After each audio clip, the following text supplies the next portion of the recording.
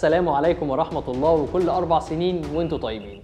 وأهلا بيكم في برنامج هيا مونديال. البرنامج الأسطوري اللي هتلاقي فيه كل حاجة تخص كأس العالم قطر 2022 بأحداثه بتحليلاته بحكاياته بسلطاته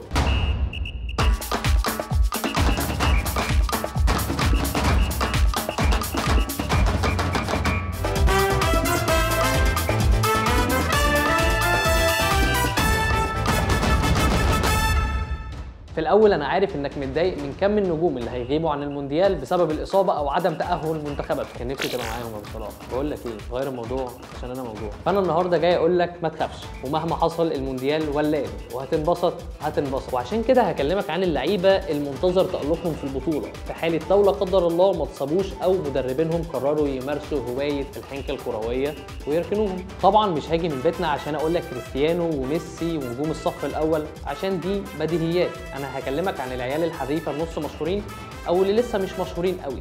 بس بما إننا جبنا سيرة الدون فطبعا بعد مقابلته مع بيرس مورجان اللي قلبت الدنيا عيشه اتقطع مع مانشستر يونايتد. بعد ما طلع وقال كل حاجة جواه فأكيد رونالدو عنده كل الحوافز الممكنة عشان يكسر الدنيا ويقول أنا لسه موجود ويشجع الأندية الكبيرة على التعاقد معاه بعد انتهاء كأس العالم. طبعا ده غير إن دي آخر مرة يقدر يحلم فيها برفع كأس العالم هو ومنافسه ليو ميسي. ثاني أعظم لاعب في التاريخ بعد الكابتن إبراهيم نور الدين طبعا. خلينا نبدأ باللعيبة الشباب المعروفين وطبعا على رأسهم أفضل لاعب شاب في العالم جافي نجم برشلونة اللي عنده 18 سنة وصاحبه اللي جنبه في نص الملعب بيدري جونزاليز. الحقيقة إن الاثنين هما محور مشروع برشلونة ومنتخب اسبانيا. مش بس في المستقبل هما بالفعل بقوا ركائز أساسية. بس الحقيقة برضو إن بدري رغم موهبته الفذة إلا إنه لسه قايل تصريح لجريدة سبورت الأسبانية اتسبب في غضب جماهيري كبير جدا ضده. ليه؟ لأن البيه رشح البرازيل والأرجنتين للفوز بالبطولة اللي هو يا اسطى أنت شايفنا هندراس قدامك ولا لكن عموما البطولة دي هتفرق في مسيرة جافي وبدري وشخصيتهم لدرجة كبيرة جدا في حال تألقوا وقدروا يصنعوا الفارق مع الماتادور. ندخل بقى على اللي بعده.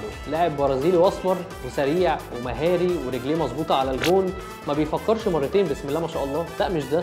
أنا قصدي على شيطان مانشستر يونايتد الجديد صاحب ال 22 سنة أنتوني. وده راجع لأنه خريج حواري ساو باولو البلد وقلبه ميت وممتع لدرجة الاستفزاز وكمان مفيد للفريق. رافائيل لياو صاحب ال 23 سنة أفضل لاعب في الدوري الإيطالي الموسم اللي فات واللي لسه ما جددش عقده مع إي سي ميلان لغاية دلوقتي. ومتوقع إنه هيمشي من الفريق في حال تألقه مع البرتغال. وكمان فرصته في المشاركة زادت بعد إصابة دييجو جوتا. وطبعا العظيم فالفيردي أحد أهم أسباب فوز ريال مدريد بدوري أبطال أوروبا.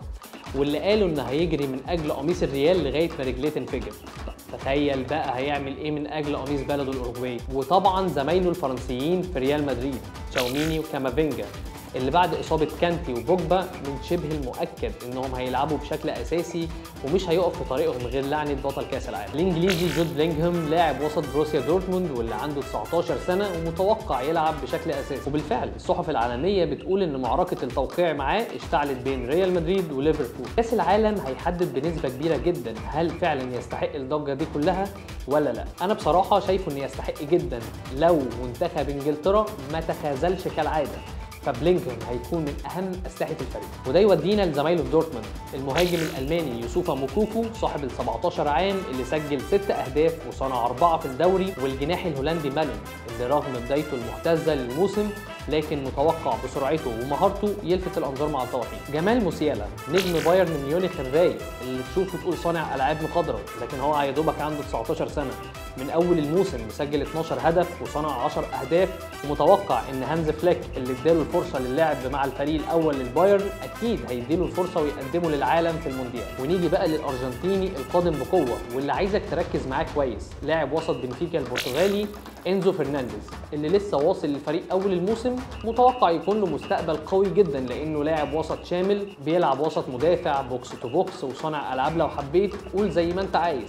لاعب سريع قوي دفاعيا عنده رؤية ممتازة مهارة معقولة جدا مع تأكد غياب لوسيلسو احتمالات إنه يظهر في المونديال بقت أقوى بكتير جدا. جوناثان ديفيد مهاجم كندا صاحب ال 22 سنة.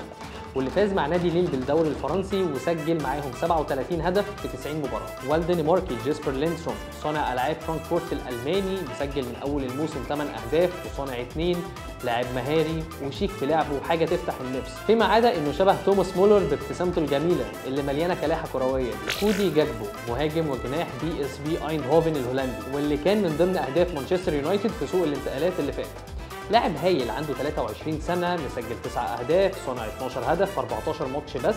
متوقع إنه في آخر الموسم هيكون مطلب جماهيري للأندية الكبيرة في أوروبا. وبالنسبة للمدافعين في أسامي كتير.